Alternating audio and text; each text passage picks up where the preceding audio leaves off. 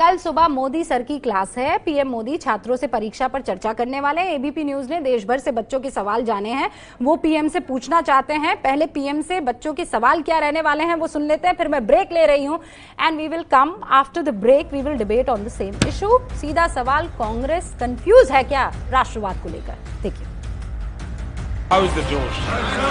मेरा सवाल है कि जो सरकारी स्कूल के जो शिक्षक होते हैं उन्हें सरकारी कार्यक्रमों में जैसे कि पल्स पोलियो हुआ सेंसस हुआ इन सब में जो है उन्हें एंगेज कर दिया जाता है। इलेक्शन तो इलेक्शन हुए इन सब में एंगेज कर दिया जाता है। तो इस कारण सरकारी स्कूल के जो छात्र होते हैं उनकी पढ़ाई का बहुत नुकसान होता है।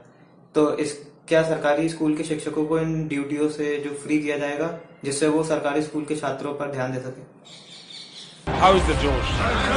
हम लोग रहते हैं स्टेशन एरिया में और हमारा जो सेंटर है वो अप्रोक्सीमेटली 18 टू 19 किलोमीटर दूर आया है। तो हम लोगों को बहुत प्रॉब्लम होती है। ये है एबीपी न्यूज़ आपको रखे आगे।